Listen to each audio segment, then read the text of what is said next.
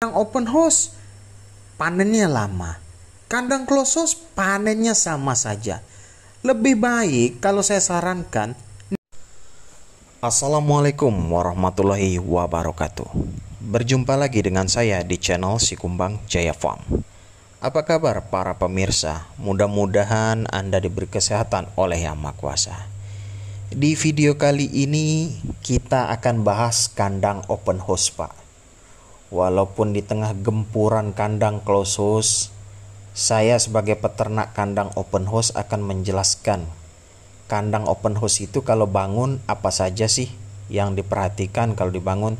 Siapa tahu ada peternak yang ingin buat kandang open house lagi. Mungkin dia mandiri atau gimana.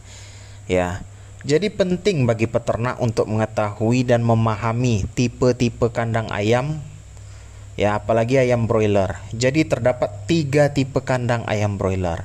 Yang pertama ini paling lama tradisional pak ya. Nah inilah yang akan kita bahas. Open house atau kandang terbuka. Yang kedua mungkin suatu saat saya bisa bahas kalau saya bisa review berkunjung ke kandang sahabat atau saya sendiri yang punya. Amin ya. Itu kandang close house atau kandang tertutup. Yang ketiga itu semi close house terbuka tertutup dia bisa semua makanya dikatakan semi close house. Setiap tipenya itu memiliki penjelasan dan konstruksinya masing-masing, Pak. Seperti halnya kandang open house atau kandang terbuka itu bahan konstruksi utama untuk membuat kandang ini itu kayu atau bambu. Nah, dengan menggunakan bahan kayu dan bambu, kandang open house ini tentu lebih murah, lebih hemat. Tapi kekurangannya ada. Ya, sirkulasi udara di dalam kandang itu nggak bisa diatur jadi tergantung alam sekitar. Bahkan cahaya matahari itu bisa masuk langsung ke dalam kandang. Ya namanya kandang open house. Kalau matahari sudah masuk ke dalam kandang secara langsung, yang terjadi apa? Suhu panas yang ekstrim, ayam bisa mati, bisa head stress. Nah, kalau musim hujan bisa mungkin terkena tampias hujan. Inilah kekurangan-kekurangannya. Tentunya ketika membuat kandang open house ini kita harus perhitungkan bagaimana caranya supaya cahaya matahari tidak masuk semuanya ke dalam dan tidak terkena tampias hujan dan sebagainya. Nah, berikut yang perlu diperhatikan untuk para peternak yang ingin membangun kandang open house. Satu, perhatikan atapnya. Bentuklah atap dengan tipe monitor, ya. Bentuk ini baik untuk pertukaran udara sehingga pembuangan gas beracun seperti amoniak, CO2 dan sebagainya bisa lebih maksimal.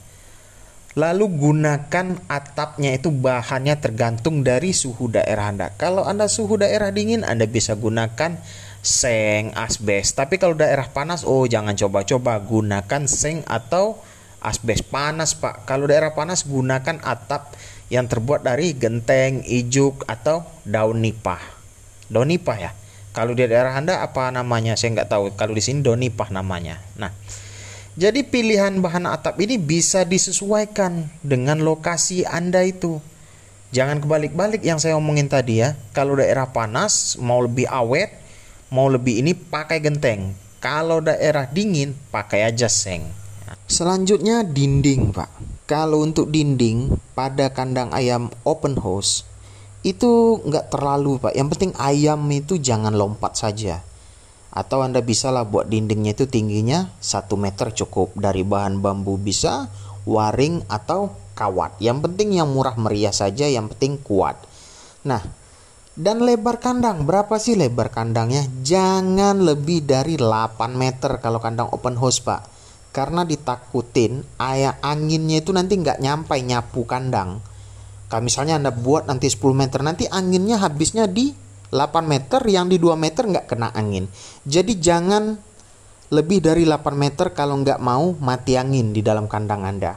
Sebenarnya mati angin bisa diatasi dengan pemasangan kipas. Ada Anda bisa lihat di kandang saya itu. Nah, kalau jarak antar kandang, oh ternyata untung nih eh, ternak ayamnya. Jadi bisa dibangun kandang. Itu juga jaraknya lebarnya dari kandang satu ke kandang lainnya itu 8 meter juga ya uh, supaya tidak mengganggu sirkulasi udara di areal peternakan. Nah, ini arah membangun kandangnya yang penting diperhatikan ya. Kandang itu harus membujur dari barat ke timur. Kenapa begitu? Supaya mendapatkan sinar matahari yang cukup. Ya, tapi tidak langsung mengenai ayam. Jadi cuman kena ujungnya kena berapa meter gitu loh Pak. Ujung sana sorenya kena berapa meter. Kalau Anda bangun misalnya dari arah yang berlawanan ya. Misalnya Anda bangun dari utara ke selatan. Itu akan mengakibatkan cahaya matahari masuk semua, Pak. Masuk semua ke dalam kandang. Kalau sudah masuk semua ke dalam kandang itu ayam jadi kepanasan kecuali anda itu punya penghalang sinar matahari misalnya e, ditanamin pohon-pohon yang lumayan rapat tapi ini juga berimbas kepada sirkulasi udara. Banyak itu kandang salah bangun soal e, letaknya. Malah bangun dari utara ke selatan ujungnya nggak pernah panen hasilnya bagus itu nggak pernah jelek terus. Apalagi kalau misalnya matahari itu sedang terik uh bisa kepanas semua ayam bisa mati sampai 30% itu per periodenya selanjutnya kepadatan kandang kalau di kandang open house, kalau Anda target panen ayamnya itu misalnya ukurannya itu lebih dari 1,8, Anda mau panen misalnya dengan ukuran 2 kilo, itu isilah dengan kepadatan 6 sampai 7 ekor per meter persegi. Tapi kalau misalnya Anda bisa ada panen penjarangan untuk mengurangi kepadatan, Anda bisa isi 8 ekor per meter persegi. Nah, kalau ada yang tanya, "Bang, kenapa sih, Bang? Bahas kandang open house?" Apakah kandang open house ini masih worth it untuk dikerjakan? Kalau untuk kemitraan sebenarnya sudah hampir habis masanya Pak ya. Kandang open house ini, ini kita ngobrol sedikit. Cuman kita ini aneh. Di Indonesia ini aneh gitu loh Pak. Kandang open house saja panennya itu bisa molor-molor loh. Dikarenakan apa? Nggak nguasain pasar Walaupun muasin pasar, bersaing dengan PT lain, hancur juga. Kandang open house ini populasinya sedikit. Populasi sedikit saja keteteran ini PT-PT panen saya perhatikan. Apalagi kandang klosus. Kandang klosus itu populasinya bisa 2 3 kali lipat dari kandang open house dengan ukuran yang sama. Jadi coba siapa yang dirugikan masalah kandang ini? Peternak juga Kandang open house panennya lama. Kandang close house panennya sama saja. Lebih baik kalau saya sarankan nih ya PT-PT itu daripada sibuk ganti nih kandang close house segala macam urusin dulu deh pemasaran. Urusin dulu deh masalah harga ayam gimana. Kerjasama nih sama pemerintah gimana caranya kita ekspor biar peternak ini nggak deg-degan lagi yang namanya masalah panen Tiap panen jantungan, tiap panen jantungan masalah harga. Jadi ngapain buat yang lebih mahal tapi hasilnya tetap buruk? Yang namanya usaha buat perangkat lebih bagus itu untuk mendapatkan keuntungan yang lebih besar, bukan cuman di angan-angan. Sekian dulu dari saya dari channel Si Kumbang Jaya Farm.